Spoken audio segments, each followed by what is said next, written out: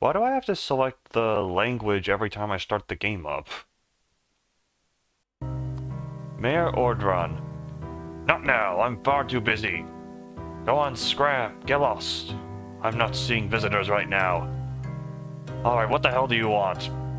I don't know, honestly. By the gods. Oh, you're a boss. Well, I have a ticket.